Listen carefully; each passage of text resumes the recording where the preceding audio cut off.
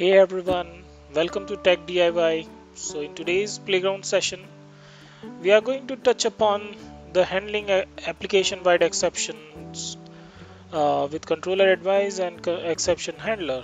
So for this tutorial, we are going to follow uh, for this session, we are going to follow two tutorials. Basically, one is uh, how to do how to do in Java, and the other one is vinsguru. So the references for both of them are uh, presented on the screen as shown on the screen. So let's get started.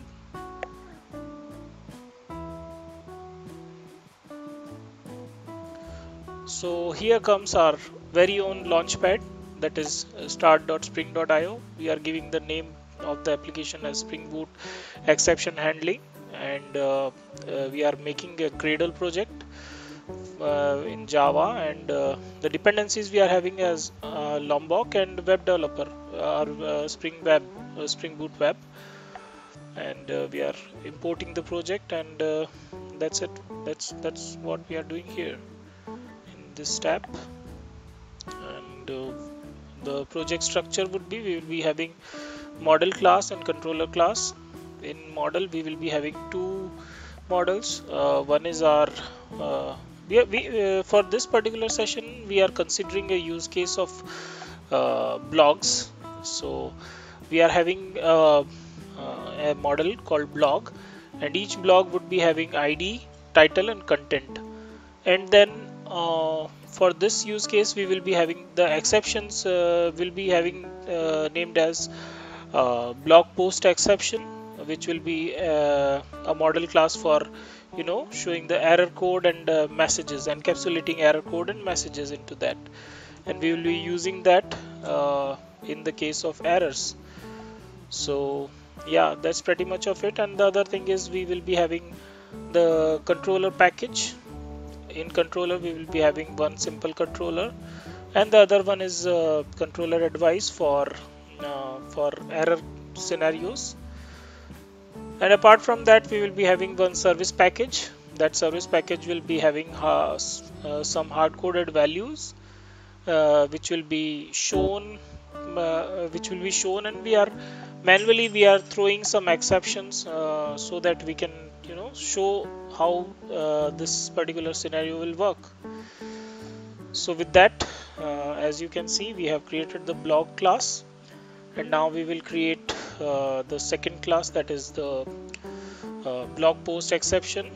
Let's give the name as blog post exception and have the uh, members like uh, error code and the second one is message of type string. Add data add data will generate the getter setters for us. All args constructor will gen and no args constructor will generate the constructors for this. And uh, now we will see we will create the uh, uh, service class. So blog service we are going to create and as I said earlier here we will simply we will be reading uh, two methods we will be having get all blogs and the second one is get by id get blog by id method. So get uh, so we are just uh, declaring them and uh, we are annotating this particular implementation with service class. And yeah that's it. So we are uh, writing the implementation here. And again the implementation uh, will be uh, as I said earlier we are we are hard coding for this particular uh, small session. We are going to hard code few values here. Yeah. So get all blogs will return us a list of blogs uh, with their corresponding ID title and content so that's what we are going to here uh, do here in this post construct method. So basically the post construct uh, comes into picture after uh, bean creation. So as its name suggests post construct post construction means once construction is done then we need to set the variable set the initial or initialize the things. So that is what this init method is doing here. Okay? So that's what we are doing here. Let's have three uh, three uh, very uh, let's have three values here for or three blogs here. And similarly get all by id we, we, we will be fetching from this list. And uh, we will be having a filter over there which will be filtering it filtering it out. And yeah as I said earlier we will be using we will uh, we will be randomly throwing uh, some exceptions. Basically the runtime exception will be throwing from here. So this thread local random is again a class. Uh, you can google it for more details. Uh, it will be randomly generating the uh, values. But outside our thread context and we'll be providing out of the box those values. So that is what this uh, particular class would be doing and you can further check on the uh, class definition.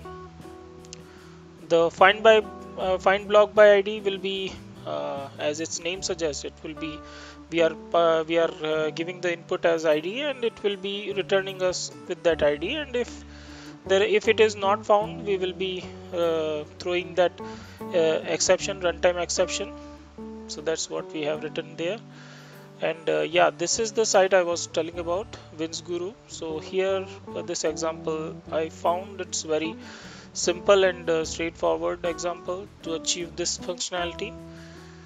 Uh, so we followed this time this example for this uh, playground session. So let's write the controller uh, for our classes. So we are adding this uh, controllers here. So one is blog controller which is nothing but two uh, two paths we will be having here slash blog and find as I as it's as I uh, already told one is uh, find all blogs and the second one is uh, block by ID so those two will be actually we will be passing on the button or passing the request uh, to blog service methods here from here. So we are having these get mappings here. Yeah. Uh, and passing the id variable and the path variables we will be adding here. Add path variable with add path variable and id so this mapping we will be providing there. And finally yeah uh, so this is uh, our blog controller is done. Second is blog post exception mod uh, exception uh, sorry blog uh, I would say I would say the name as blog exception controller.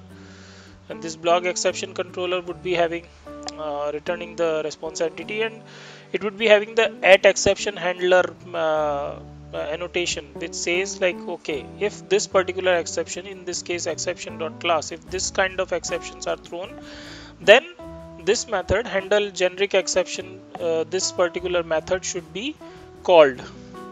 Okay? And if it is a runtime exception then we will be writing a separate method for runtime exception. So this way we can have we can write our own uh, methods and map them to particular exception classes so that's what we are doing here. Uh, we are having two uh, two methods uh, two flavors of this method. One is for generic and the other is for you know runtime exception. We can have different names here. Yeah so that's what we have done here. Now uh, we have reached uh, in the testing phase. So before uh, before to this I am just removing that add controller first and then bouncing the server so that we can see how exactly it will behave in the current scenario. Uh, I think uh, while uh, in the start.java uh, I have given 8 instead of 8 I have given the Java version as 11 so this exception came. Now we are we are reverting that to 8 and uh, rebouncing the server. Let's see how it works. Yeah server is started now. Everything seems to be fine so now we are trying to hit both the endpoints. Uh, one is for error that is we are giving wrong identifier and we are getting this white label error page and the other one we are giving the right one and we are getting the response. So these are the two urls we uh, we are hitting and we are getting the uh, response. Now uh, we are putting that at uh, controller advice controller advice again and uh, we are going to customize the messages also with the uh, path variable which we are getting from the request. So from request object we will be adding the identifier in the message also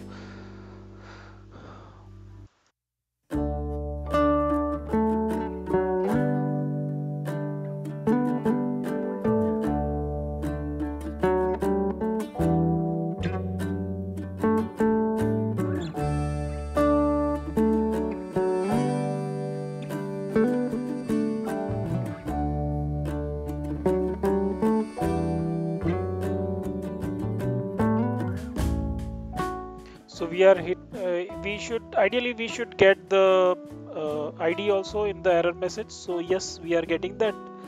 So this is the customization of uh, you know uh, messages. Thanks for watching. Until next time. Bye bye don't forget to like share and subscribe our work. Thanks for watching again